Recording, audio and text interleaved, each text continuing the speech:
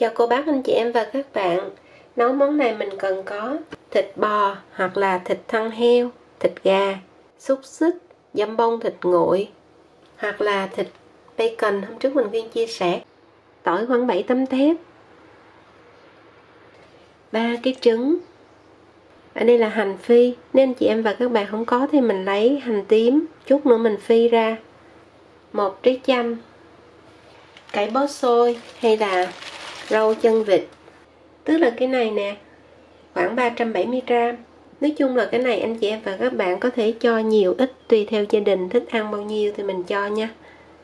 Tất cả mình rửa sạch, một củ cà rốt khoảng 170 gram, vài cọng ngò rồi giá cũng rửa sạch luôn 180 gram. Mình có thêm ớt ớt chuông cũng được hoặc là ớt không cay đây là miếng Hàn Quốc. Thì anh chị em và các bạn thích nhiều hay ít, mình cho 200 gram. Tỏi có thể bằm, mình xay cho nhanh. Khoảng mấy giây là có tỏi xay. Mình cho vào đây một muỗng cà phê. Anh chị em và các bạn cũng có thể cắt thịt bò nhỏ ra, rồi sau đó mình xào. Tuy nhiên mình làm cách này ngon, một muỗng cà phê bột nêm bột nem gà chicken powder chút xíu tiêu. Sau đó mình trộn lại. Rồi mình để đây. Đầu tiên mình sẽ rang mè. Anh chị em và các bạn rang cho đến khi nó thơm á. Tắt lửa, từ từ nó sẽ nâu lên. Và nổ bốc bốc ở trong đây. Mình chờ nguội.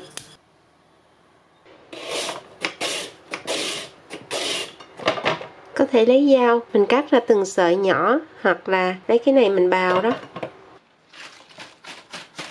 Cái bó xôi mình cắt khúc khoảng 5 cm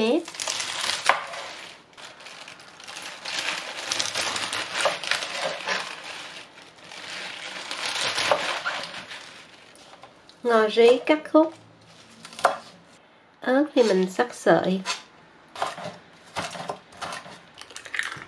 Trứng gà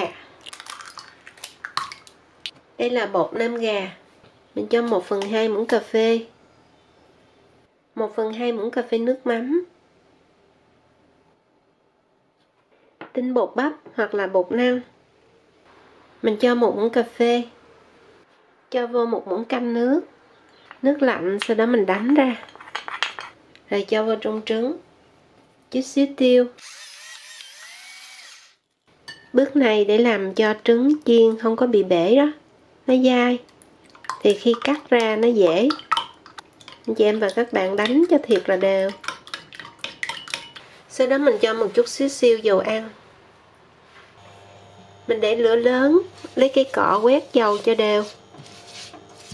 Rồi mình chiên trứng thôi, cái này chắc là chị em mình ai cũng biết nè. Nhưng mà cái này mình sẽ chiên mỏng, để chút nữa mình cắt. Một chút xíu, vừa chiên vừa lắc cái chảo giống như trang như mình đổ bánh xèo vậy đó.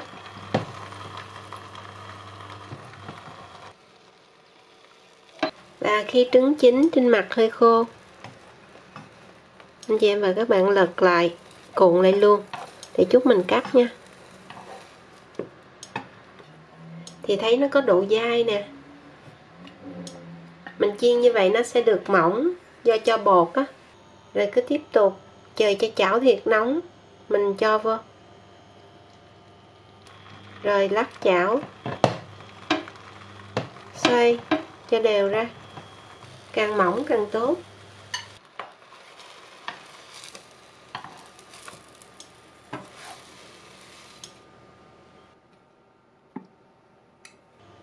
Cho khoảng 2 muỗng canh dầu ăn. Nếu anh chị em và các bạn ăn kiêng á thì mình cũng có thể tái thịt bò được luôn.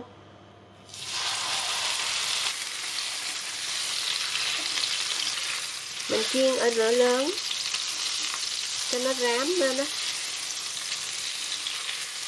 Khi nhìn thấy rám xung quanh hết rồi, thì lúc đó mình hạ lửa nhỏ xuống, đậy nắp để từ từ ở đây cho chín. Trong lúc chiên thịt bò, mình cắt trứng thỉnh thoảng trở thịt bò cho nó nâu lên đó. Uhm, thơm thì là thơm nè. Rồi tiếp tục cũng để lửa thiệt nhỏ cho chín hẳn bên trong. Một muỗng canh dầu ăn mình làm sốt cho tất cả tỏi để phi cho thơm cho nâu luôn. Sau khi tỏi nâu vàng mình tắt bếp tiếp tục đảo cho tỏi giòn. Đây là dầu hào, oyster sauce. Mình lấy một muỗng canh hay là cái tablespoon á, mình đông vung lên. Khoảng 20 ml mình lấy cái này là nước tương soy sauce. Hai muỗng canh là 2 tablespoon tức là 30 ml nếu như nước tương Maggi đó, thì mình cho ít hơn. Tương ớt hoặc là cái ớt mà mình quyên hay nấu đó. Một muỗng canh cái ớt này nó có cái vị một chút xíu chua chua và cay chút xíu thôi. Một muỗng canh đường vung lên. Mình tráng lấy hai muỗng canh nước 30 ml rồi mở lửa lớn, nấu cho sôi. Sau khi sôi bùng lên, mình sẽ cho vào đây một miếng chanh, khoảng một muỗng canh, tức là một tablespoon đó là mình đã có sốt. Anh chị em và các bạn cũng chờ cho nguội nha. Sau khi thịt bò chín, mình sẽ nâng lửa lớn để cho nó cạn cái nước ở trong chảo đó. và cũng chở thịt. Nó văng lắm cho đó. Đậy lại nè rồi, để nguội cho chút xíu mình cắt. Tiếp theo mình sẽ cho nước vào trong chảo để mình trụng rau. Ta chuẩn bị một thau nước lạnh luôn, hoặc là nước đá lạnh. Cho vào trong đây một chút xíu muối, khoảng 1 phần 3 muỗng cà phê. Chờ nước sôi, mình trụng nhanh giá. Chị em và các bạn trụng nhanh qua thôi.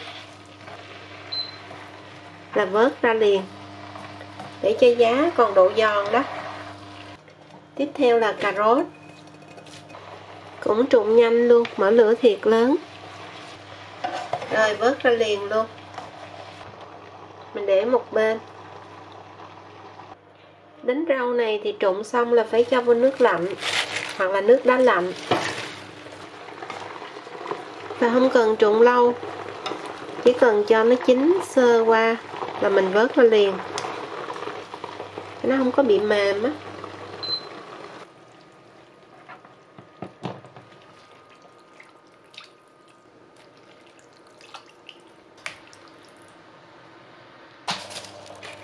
Miếng. Thì anh chị em và các bạn thích nhiều hay ít, mình cho 200 gram. Mình nấu nước sôi và nước bắt đầu sủi tăm mình cho miếng vô trộn. Thỉnh thoảng đảo là nấu cho đến khi mình thấy miếng chín mềm nó thường khoảng 10 phút cho đến 12 phút. Thịt bò mình sẽ cắt sợi.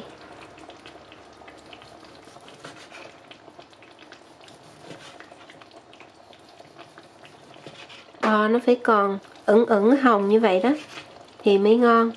Đó là nó không có bị chảy máu ra. Mình cắt sợi nhỏ bằng như là thịt này là mình làm cho người Việt mình ăn đó. Nếu như mà người nước ngoài thì người ta sẽ làm sống hơn một chút nữa. Nhớ là luộc thiệt mềm rồi đó. Sau đó mình cho vào nước lạnh thì nó mới không có bị cứng lại.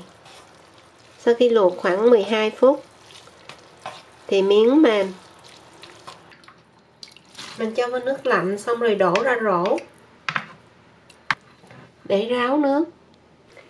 Anh chị em và các bạn nhớ vắt cho nó ráo nước á. Để lúc mình trộn nó không có bị ra nước.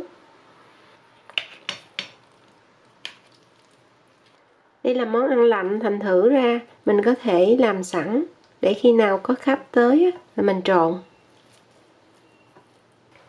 Miếng để ráo xong lấy kéo cắt ra.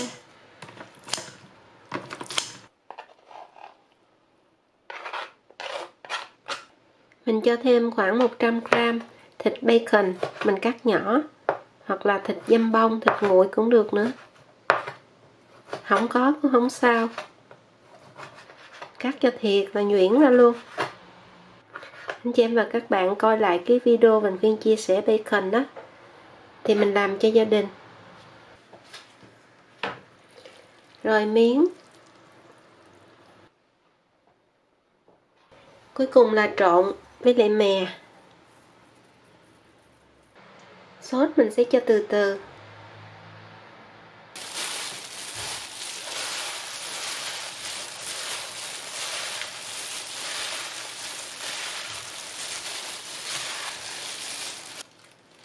Cho nhiều mè. Anh chị em và các bạn cùng nấu cho gia đình nha.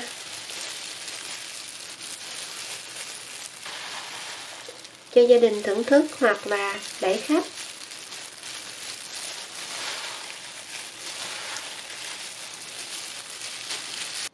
Cuối cùng mình cho ngò với ớt, trộn chung lại luôn. Thêm hành phi giả cho nát.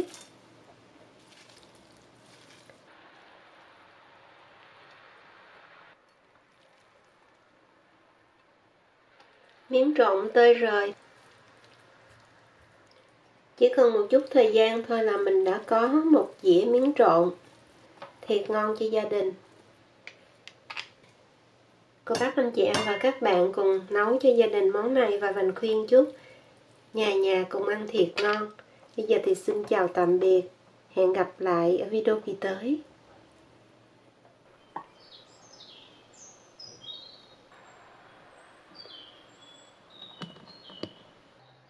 Ở ngoài kia chim kêu rã rít.